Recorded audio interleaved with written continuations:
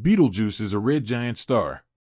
If it replaced the Sun, it'd stretch all the way out to Jupiter's orbit. It's gigantic, super unstable, and about to blow up. When it does, these explosions are some of the biggest radio blasts out there, creating way more energy than a billion suns. So, are you ready for what's coming? This huge red star, one of Earth's close star neighbors, has dimmed a lot recently, which has everyone talking. Some think this dimming could mean it's about to go supernova, a massive explosion that happens when a star runs out of fuel. That's got scientists and everyone else wondering what it could mean for us here on Earth. Betelgeuse is easy to spot in the Orion constellation at night. It's also called Alpha Orionis, and it's the brightest star in that group. NASA's Hubble Space Telescope and other places have seen that Betelgeuse shot out a bunch of stuff in 2019. Stars like it don't usually do that, so scientists are watching to learn more. Our sun burps stuff out all the time, but Betelgeuse's weird event makes us think more about how big stars live and die. How far away is Betelgeuse? That's up for debate. Some say it's far, some say it's closer, around 724 light years from Earth. It's hard to nail down the exact distance to these red supergiant stars because they're so far away and act weird. Betelgeuse is one of the brightest stars we can see. It shines about 100,000 times brighter than the sun. But that brightness comes at a cost. It burns through its fuel super fast, which means it'll die sooner.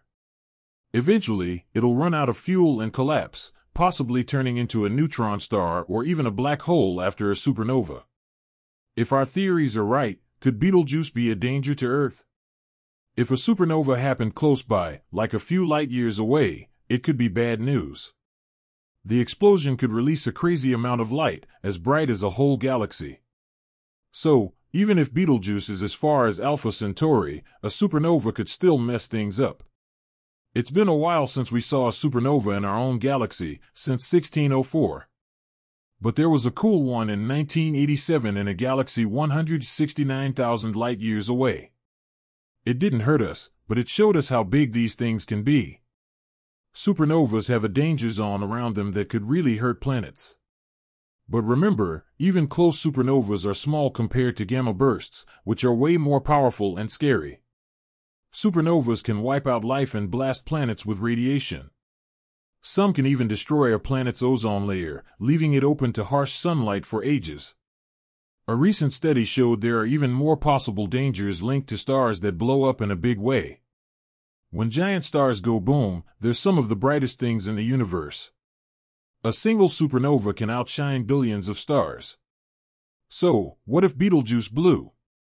If it went supernova, it'd be the second brightest thing in our sky, after the sun. Even though it's far away, it'd shine brighter than the full moon and be visible during the day. The explosion would be so bright it'd cast shadows at night. It'd be amazing but also a little scary, showing how powerful space can be. The bright light from a supernova is cool, but it's not the whole story. Most of the energy is released as high energy radiation like X rays and gamma rays. That's what's really worrying. This radiation can mess up our ozone layer, which protects us from the sun's harmful rays. Without it, we'd get blasted with ultraviolet radiation, which could cause a mass extinction. Right after a supernova, there are a bunch of dangers. The radiation is the first thing to worry about. Then, cosmic rays, tiny particles moving super fast, start hitting the solar system. These can also destroy the ozone layer and cover Earth in radiation.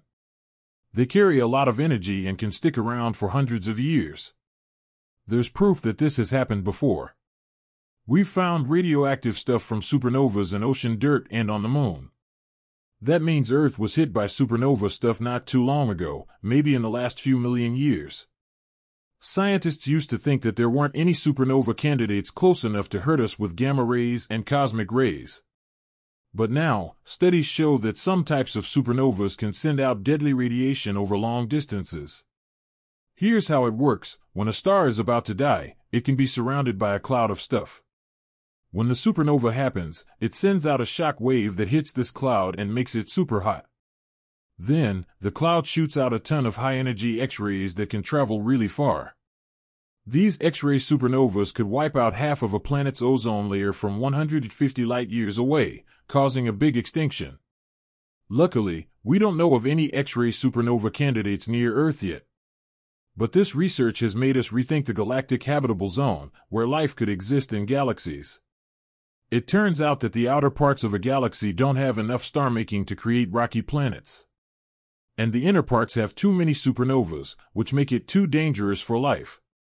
So, the safe zone is probably farther out than we thought. So, what will a Betelgeuse supernova look like from Earth?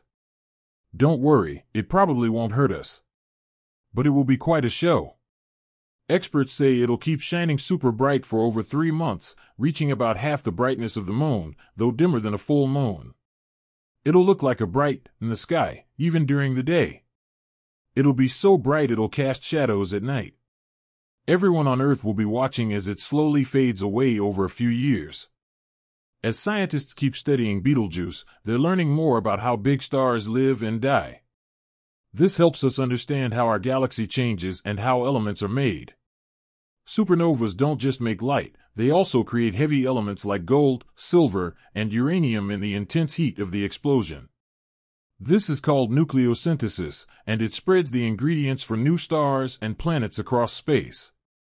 Also, the leftover stuff from a supernova can become a stellar nursery, where new stars are born. This shows how space events are connected, with the death of one star leading to the birth of others.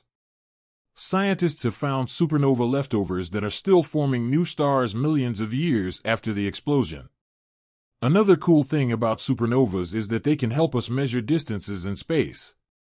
Type Ia supernovas, explosions of white dwarf stars, always reach the same brightness, so we can use them as standard candles to figure out how far away things are. This has helped us learn about how the universe is expanding and discover dark energy, which is making it expand faster. Studying supernovas can also tell us if planets orbiting other stars could support life. Scientists are looking at how the radiation from these explosions might affect those planets' atmospheres and if life could survive. This shows how important it is to understand the conditions that allow life to exist in the universe.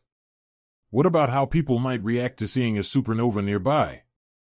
Throughout history, supernovas have inspired stories, myths, and art. The explosion of a star isn't just a science thing, it's a big deal in human culture, representing change, destruction, and rebirth. In the past, people saw new stars as signs or messages from the universe. New tech has also changed how we study supernovas. Space telescopes can take amazing pictures and analyze the light from these events. Ground based observatories help us monitor them in real time.